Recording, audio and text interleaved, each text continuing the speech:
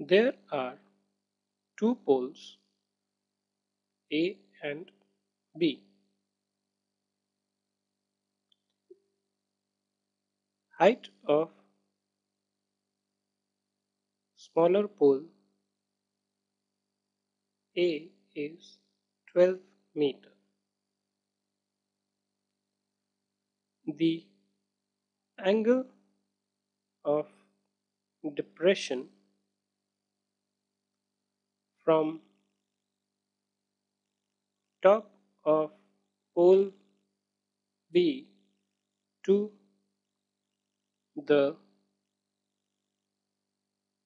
height and bottom of pole A are 30 and 60 degree. Find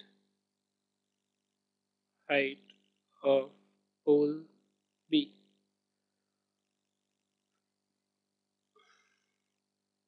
Okay, this was just around the writing the question. Let me take you through the question first. There are two poles A and B.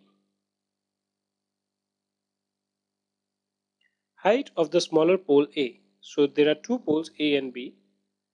The height of the smaller pole A. Let me just create some more distance between the two of them. Let's call this as A. Let's call this as B. We know that A is the smaller pole. Is 12 meters. So this is 12 meter. Okay. The angle of depression. Depression is what? When it goes beyond your, below your eye level. From top of pole B to the height and bottom of pole A are 30 degree and 60 degree. So let's say this is the height of pole B. Let's call this as point P. Okay. So the angle of depression from P to the height, let's say, let's call this as H.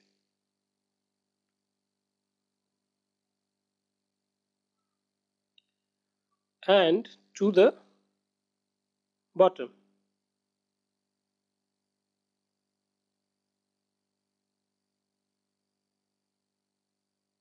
So this basically if you see this is going to be the horizontal line for the person who's looking at it. The angle of depression will be these two angles one up to this point and one up to this point right? Or actually one up to this point and one up to this point. Let me just clear this out. It's too much of a confusion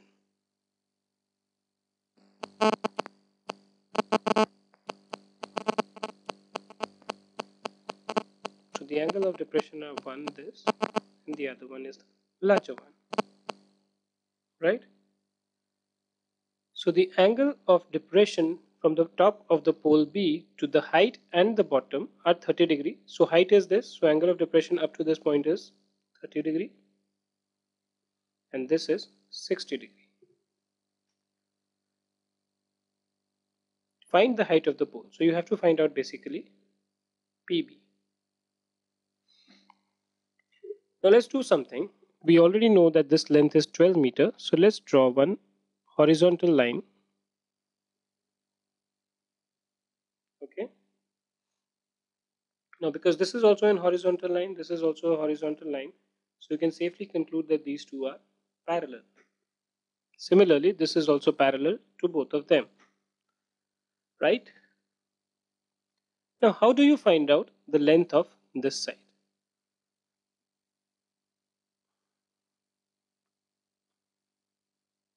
So what you can do here is, now given that, let's call this as M. Given that PM is parallel to H was this point, let's call this as O, OH, PH sh should be a transversal.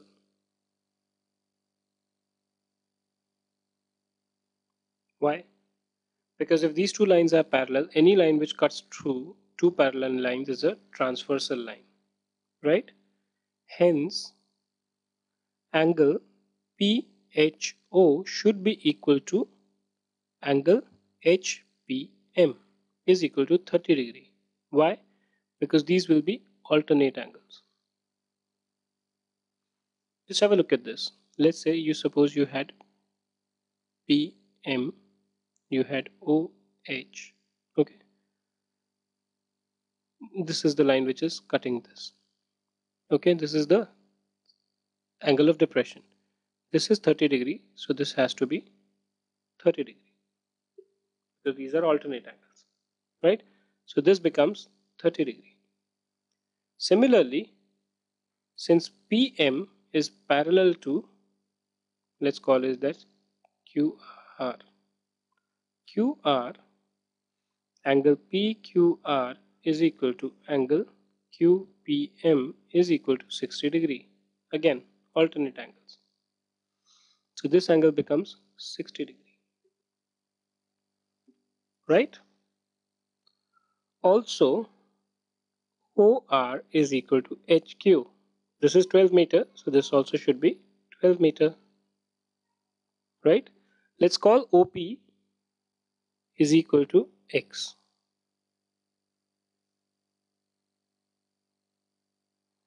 Right? So now we can apply our trigonometric ratios. How? In triangle OPH, you know that this angle is 30 degree, right? Or wrong? Right. So if this angle is 30 degree, well, I think even before that, okay, let's try with this only. Let's find out the relationship between OP and OH. Now OP and OH will be basically what? Side opposite to the angle and side adjacent to the angle. So tan. So tan 30 degree is equal to OP upon OH. OP we've taken as X. OH we don't know is equal to tan 30 degree. So value of tan 30 degree 1 upon root 3. Call this as equation 1. Now in triangle PQR tan 60 degree is equal to PR upon QR. What's PR? PR is equal to x plus 12 upon QR is equal to tan 60 degree or which is root 3. Right? But OH is equal to QR. Why? Because this is a straight line. These two are straight lines. So the distance between them on both the sides should be equal. Okay. Let's call this as Y. So we have x upon y is equal to 1 upon root 3 and we have x plus 12 upon y is equal to root 3. So x or rather y is equal to root 3x and here you get root 3y is equal to x plus 12 or y is equal to x plus 12 upon root 3. Now equating these two equations, both the sides you have y So you can say root 3 x is equal to x plus 12 upon root 3. Multiply this here, so you get 3x is equal to x plus 12.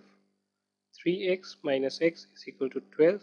2x is equal to 12 and x is equal to 6. Similarly, y is equal to root 3 into 2, 6 is equal to 6 root 3. Now what did we need to find out?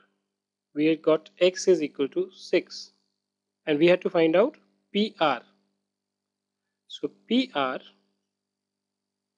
is basically nothing but OP plus OR which is this is 6 this is 12 so PR is going to be equal to 18 centimeter. That's your answer